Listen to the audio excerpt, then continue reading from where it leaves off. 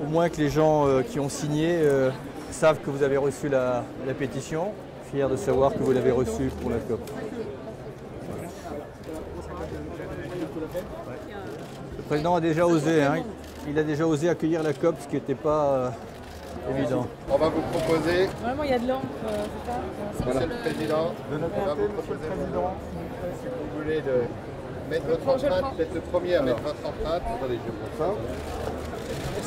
Merci François.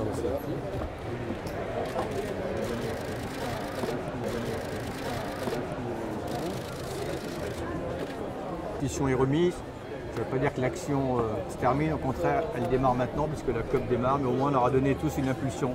Plus importante même que les engagements eux-mêmes. Et c'est les engagements qu'on demande aux chefs d'État de mettre en œuvre. Il nous semble qu'il ne faut pas perdre de l'esprit, que les engagements sont importants, mais il y a des instruments incontournables si on veut sortir des crises. On les a identifiés. Oh, je peux vous en citer deux, trois, mais cesser de subventionner les énergies fossiles, donner un prix au carbone, aller chercher l'argent là où il est pour aider les pays du Sud à s'adapter. Ça, c'est des choses qui nous semblent incontournables.